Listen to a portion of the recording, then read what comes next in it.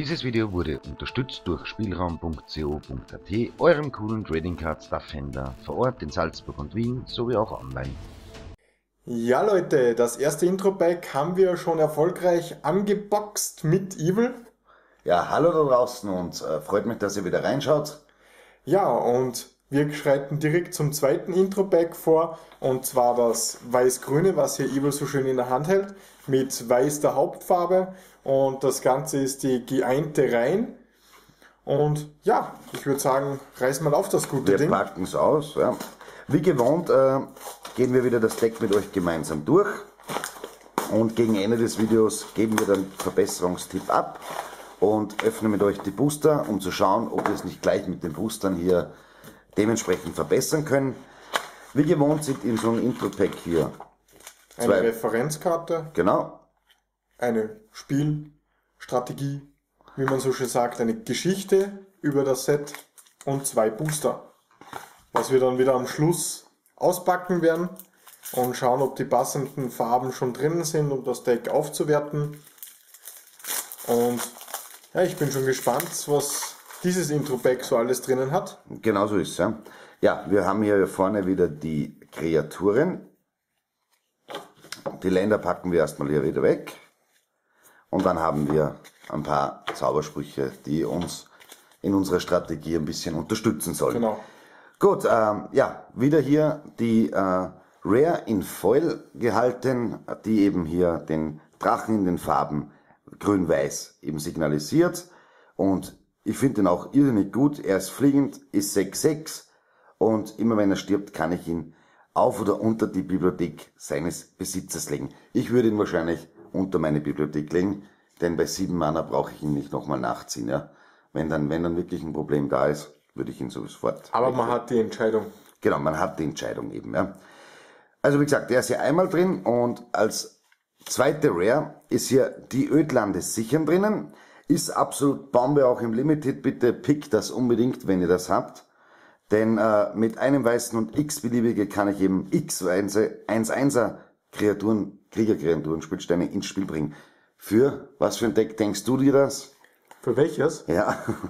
ähm, ja, in dem das weiße Kreaturen sind, auf jeden Fall in einem Token-Deck und äh, Krieger in mein Warrior, also in mein Krieger-Deck habe ich es eingebaut und schieß mich tot in was für ein Ding. Werden wir sehen, wo es alles äh, Anwendung findet.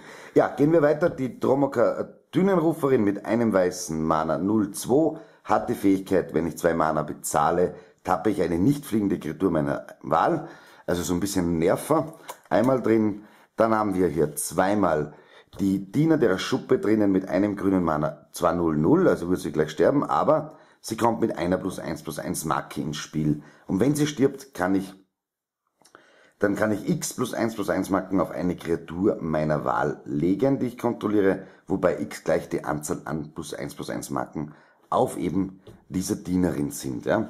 Das heißt, wir erwarten hier noch ein paar Sprüche oder irgendwas, was hier mehr Marken verteilt. Gehen wir als nächstes zur zweifachen drinnen äh, Dromoka Kriegerin. Die zwei Mana hat 3-1 ist, normaler Krieger hier, ja, ein bisschen zu schwach mit ja, dem Bode genau. hinten. Ja, so ist es ja. Dann hier zweimal Lichtschreiter, nein, dreimal sogar. Dreimal Lichtschreiter mit zwei Mana, ein 2-1er, äh, der Flugfähigkeit hat, solange er mindestens eine plus 1 plus 1 Marke auf ihm liegen hat. Muss man so mal schauen. Dann haben wir einmal drinnen den Gebri äh, Gebietssteuer Rock mit zwei Mana 1-3, der kleine kleine Bruder wahrscheinlich vom Wingmat Rock. Ja, wahrscheinlich. Fliegend, sonst gibt's ja nicht viel dazu zu sagen. Dann haben wir hier als Ankamen die Gardistin der Schuppenwache mit zwei grünen Mana, 2-3. Und als zusätzliche Kosten könnten wir eine Drachenkarte von unserer Hand offen vorzeigen. Und diese Gardisten kommen mit einer plus 1 plus 1 Marke ins Spiel, falls wir eben eine Drachenkarte offen vorgezeigt haben. Naja, naja, schwer zu casten hier, wenn man hier viel Weiß auch drin hat. Sandwerkmagier ist hier zweimal drin mit drei Mana 2-2 und er kommt, wenn er ins Spiel kommt, wende ich Kräftigung 1 an. Das heißt, ich kann eine plus 1 plus 1 Marke auf die Kreatur oder auf eine Kreatur mit der geringsten Widerstandskraft legen. Kennen wir ja, hier zweimal drin. Dann Salzstraßenquartiermeister mit 3 Mana 1-1. Er kommt mit 2 plus 1 plus 1 Marken ins Spiel und ich kann diese Marken entfernen und sie und äh, dementsprechend auf eine Kreatur meiner Wahl legen. Ja, jetzt wissen wir, wo die Sprüche sind. Zweimal hier drin. Dann haben wir den Champion von Arashin mit 4 Mana 3-2 und Lebensverknüpfung. Super ankamen eigentlich, mhm. ja. Zweimal hier auch drin.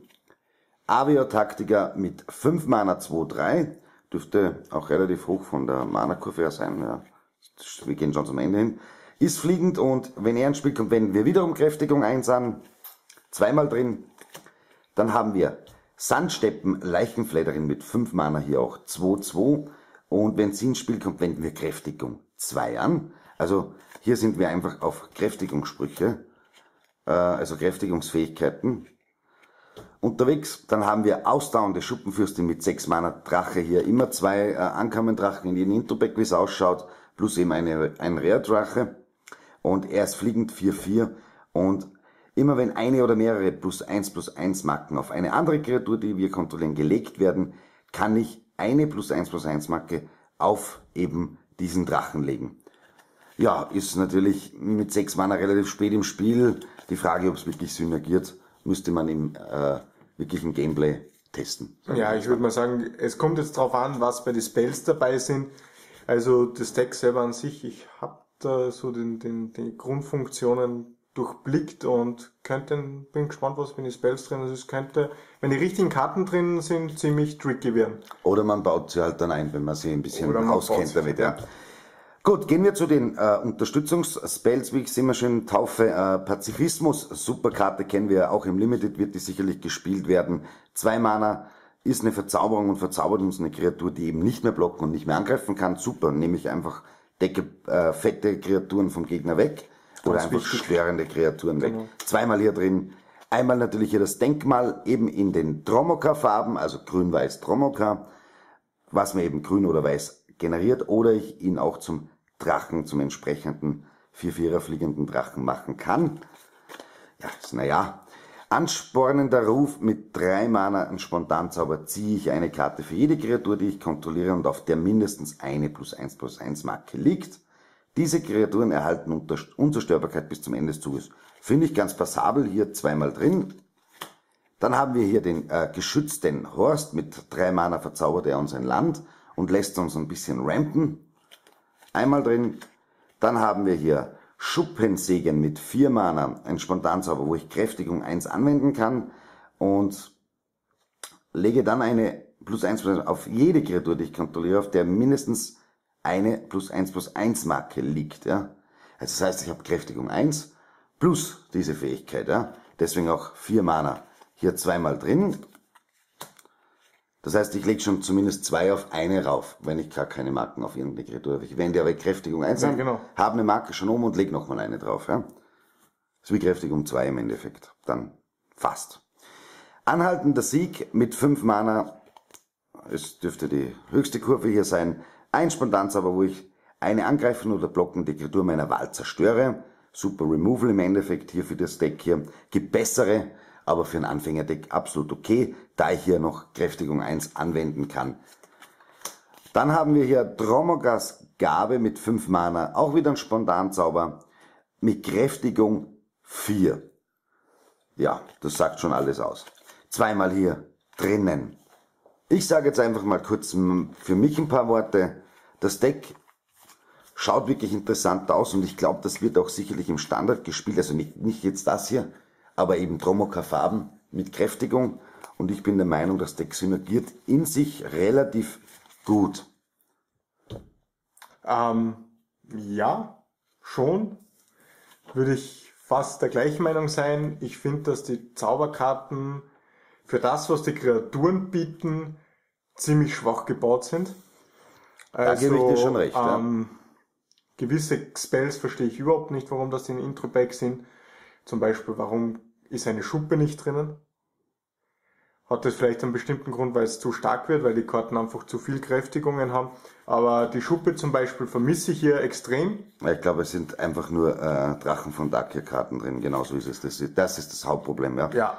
Es gibt einfach von den vorherigen Sitz. Ja, von denen her rein jetzt von Drachen auf Dark hier ist, äh, synergiert sehr schön. Von denen her, paar Kreaturen würde ich raus und gegen Karten von Fate oder, oder Khans reintun. Ähm, aber sonst eigentlich cooles Deck. Ja, finde ich schon auch, ja. Äh, ich wollte schon eins bauen, ohne Schmerz. Ne?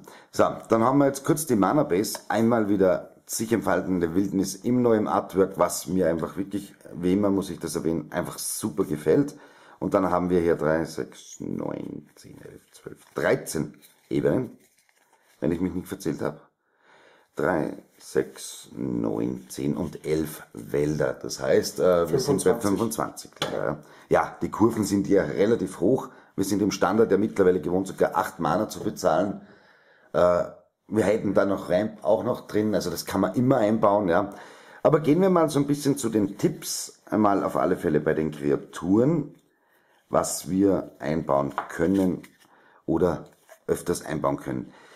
Auch wenn er an und für sich vom Body her wirklich gut ist, ich würde ihn eigentlich rauspacken. Ja, ich ja. würde hier andere Drachen empfehlen, Ja, ganz nee. ehrlich, ja. Also wie gesagt, es gibt ja einen anderen Drachen, der was ja Polster auslöst. Würde ich eher statt ihn reinnehmen. Er passt von der Synergie überhaupt nicht rein, Nee, weil alles auf, auf Kräftigung etc. arbeitet nur er nicht. Diese Karte zum Beispiel Ödland sichern ist äh, absolut Bombe in dem Deck. Also würde ich mindestens auf zwei oder drei erhöhen. Einfach aus Backup ist irrsinnig geil, weil ja, umso, Value, umso, ja. umso weiter das Match dauert, umso mehr Mana habe ich zur Verfügung, umso mehr Tokens kann ich generieren. Einfach Bombe. Also falls ich keine Möglichkeit mehr habe, mache ich mir einfach ein paar Tokens und sichere mir ein paar Runden. Also Genau, ich kann ja blocken, wenn die nicht gerade Trampelschaden haben und genau, und und. genau. und also mindestens zwei bis dreimal rein. man darf nicht vergessen, man polstert die ja auch dann, ja, teilweise. Das muss man auch dazu. Also man, man kräftigt die ja mit den ganzen Spells. Ihn finde ich ja, wenn ich jetzt die Strategie so legen würde, ganz okay. Wenn ich äh, wirklich so legen möchte, dass ich eher hochkurvig spiele. Wenn ich aber einen konstanten Kurvenanstieg, so wie hier eigentlich bezettelt ist, würde ich ihn gar nicht reinpacken, ganz ehrlich, ja. Er ist super, weil ich mir einfach gegnerische Kreaturen wegtappen kann. Die können dann nicht angreifen oder ich kann Blocker wegtappen, aber ich muss immer Mana offen halten. Und er mag wirklich gut sein, aber ich glaube, er passt nicht so wirklich ins Konzept, ganz ehrlich, ja. Ähm, da würde ich, ja, ob er wirklich reinpasst, ja, er könnte reinpassen, weil ich kann ihn gezielt zerstören lassen und die Marken rüberlegen auf eine Kreatur, die ich brauche, ja. Genau. Ja. Ja, er, er passt auf jeden Fall. Würde ich bei zwei lassen, gar nicht mehr rein. Genau.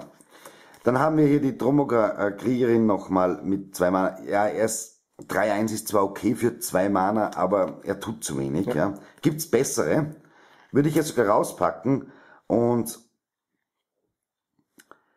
ich würde sogar, na gut, der ist schon dreimal drin, den würde ich jetzt nicht wirklich erhöhen, ja, ganz ehrlich. Den würde ich auch nicht reinpacken. Also ich, ich müsste ganz komplett andere Kreaturen reinpacken, also Äh. wie du das siehst, ja. Den würde ich mal auf alle Fälle so drin lassen vorerst, ja. Ihn kann man drin lassen, aber erhöhen würde ich ihn nicht. Er ist ein bisschen ein Schwachpunkt, weil er einfach zwei grüne Mana kostet und wenn ich ihn in Runde zwei spielen möchte, brauche ich ja auch irgendwo einen Drachen auf der Hand. Wird ein bisschen schwierig, wenn ich so wenig Drachen spiele. Und zu viel kann ich auch nicht spielen, weil sonst passt die Mana-Kurve wieder nicht.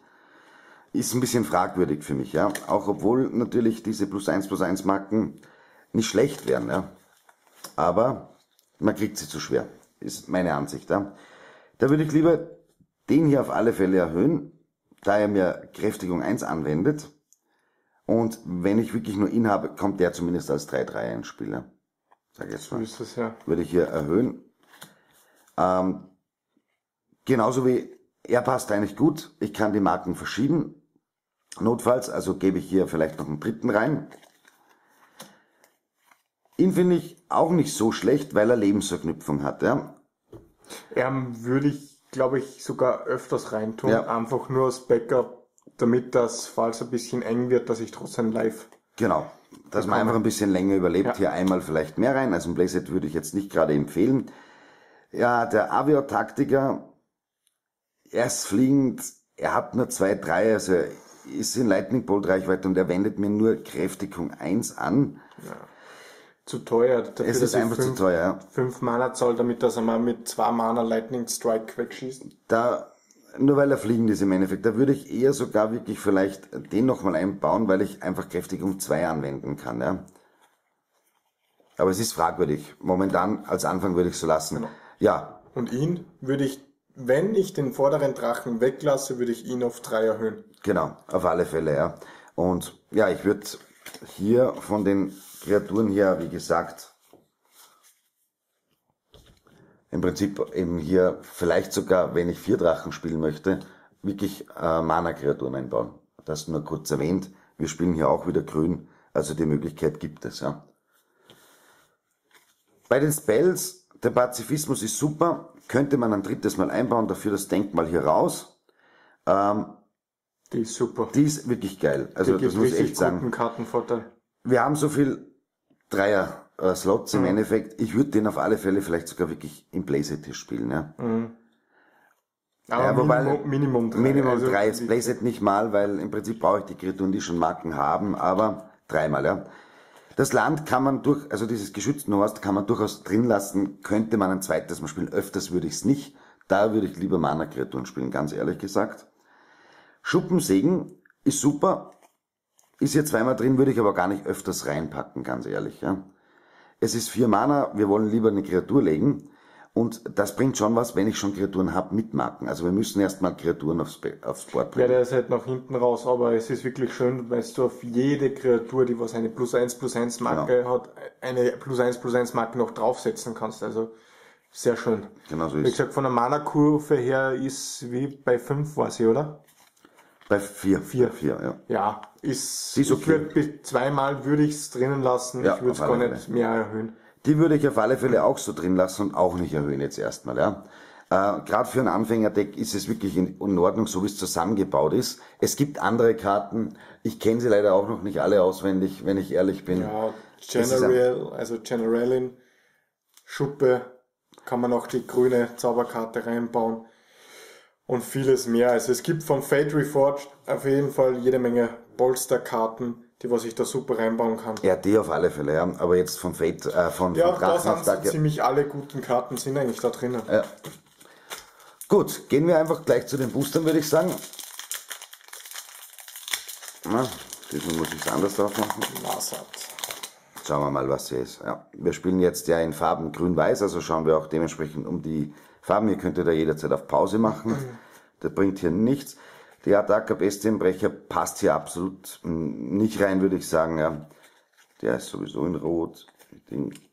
Was haben wir hier? Drachengezeichnete Bären mit 3 Mana 3-2, aber auch wieder gewaltig. Würde ich hier jetzt nicht unbedingt reinbauen, weiß nicht, wie du das siehst, aber passt hier auch nicht. Sandstürmer, hier haben wir Megamorph. Äh, 3-4 für 5 Mana. Wir haben ja ein paar gesagt, dass ihr rauspacken könnt. Man kann die durchaus hier reinbauen, weil die kriegt eine Marke und synergiert somit ein bisschen. Aber man muss nicht, darf nicht vergessen, ich brauche 8 Mana dann, ja, dass ich die Marke habe. Wird ein bisschen schwierig. Passt ja nicht. Nebelruf, Kirin, Fliegend, Wachsamkeit, 3 Mana und Megamorph. Die würde ich auf alle Fälle einpacken. Die würde ich reinpacken. ja. Die ist günstig zu spielen, spiele ich für 3 Mana, nächste Runde für 2 Mana enttappe ich sie, habe eine 3-2er, zumindest fliegende Kreatur mit Wachsamkeit und kann sie bolstern, beziehungsweise habe ja diese Effekte. Das Artefakt, äh, na, bringt eigentlich nicht wirklich was. Wir haben da nicht die Möglichkeit. Der passt ja auch nicht. Und hier haben wir eine Rare in grün. Und zwar einen Drachen. Und der ist fliegend und wenn er ins Spiel kommt, kann sie gegen eine Kreatur deiner Wahl, die ich nicht kontrolliere, kämpf, kämpfen. Und immer wenn eine Kreatur, die wir kontrollieren, gegen eine Kreatur kämpft, lege zu Beginn der nächsten Endsequenz zwei Marken auf sie. Also wenn der mal nicht synergiert, den würde ich auf alle Fälle reinpacken. Wirklich, also den sofort natürlich rein. Dann haben wir noch einen Sumpf und einen Goblin hier. Das zum ersten Deck.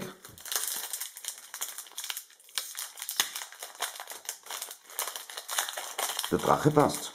Ja, da passt super. Der passt sogar besser wie der. Also auf alle Fälle. Ja. Gut, hier haben wir einen Artillerist.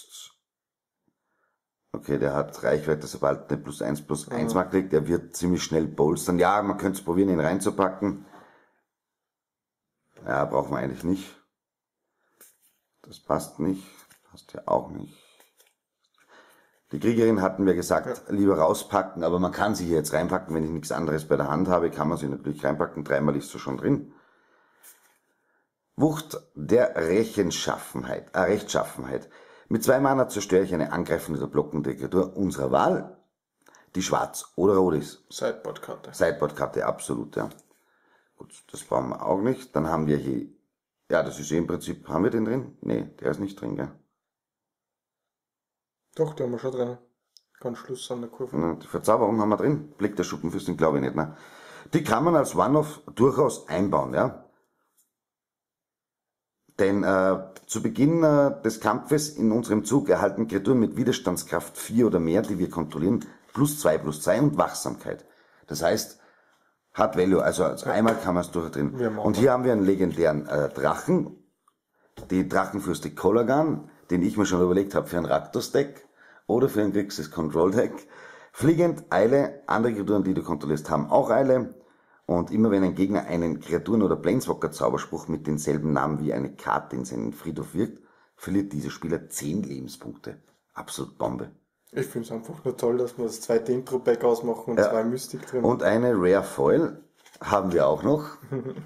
und zwar Vorrecht der Drachenfürsten mit äh, 6 Mana Spontanzauber. Als zusätzliche Kosten könnten wir eine Drachenkarte eben vorzeigen. Falls wir das gemacht haben, äh, kann eben dieser Spruch nicht neutralisiert werden und ich ziehe dann vier Karten. Ja, okay. Der jetzt wirklich so toll ist. Und dann haben wir noch einen Gin Mönch. Ja, und einen Standardzumpf. Ja, so wirklich cooles viel. Artwork. Ja, ist cooles Artwork, muss man wirklich sagen. So viel war jetzt nicht dabei, dass man es reinbauen könnte, aber der Drache, der war auf alle Fälle ein Thema. Den würde ich hier wirklich unbedingt empfehlen einzubauen der sieben Mana passt, ersetzt meinen Slot und im Endeffekt denke ich, was das auch schon jetzt mal von meiner Seite her. Ich bedanke mich auf alle Fälle fürs Zuschauen. Schaut wieder rein beim nächsten Unboxing-Video. Ich hoffe, es hat euch gefallen und ich sage mal Tschüss, bis zum nächsten Mal. Ja Leute, schreibt auf jeden Fall fleißig Kommentare, wie euch das Intro-Pack gefallen hat. Vielleicht gibt es den einen oder anderen, der was es spielt. Würde uns auf jeden Fall freuen, wenn wir hier Feedback kriegen. Und ich wünsche euch noch einen schönen Tag oder einen schönen Abend und wir sehen uns beim nächsten Intro-Pack. Tschüss, eure Miracle Keepers.